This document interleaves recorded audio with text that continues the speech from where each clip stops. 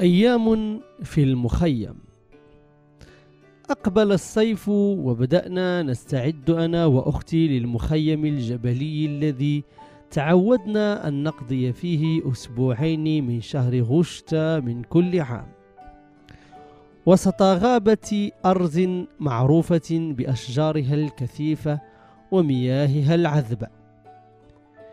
يوم السفر حمل كل واحد منا حقيبته بعدما وضعنا فيها كل لوازم التخييم ثم توجهنا رفقة والدينا إلى دار الشباب حيث وجدنا الحافلة التي ستنقلنا إلى مخيب قريب من مدينة آزرو.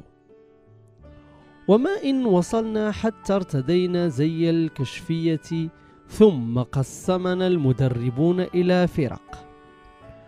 كنا نبيت في الخيام وكل صباح نحيي العلم الوطني.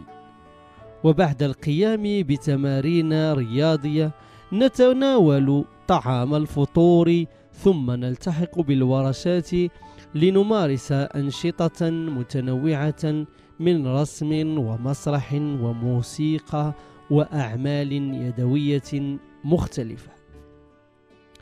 بعد القيلولة كنا نقوم بجولات استكشافية تحت إشراف المدربين. وفي الليل كنا ننظم إما مسابقات ثقافية أو ألعابا ترفيهية. وفي اليوم الأخير بعدما ألقى كل كشاف التحية أمام لجنة الكشافة أهدانا رئيسها أوسمة ترمز لرتب جديدة.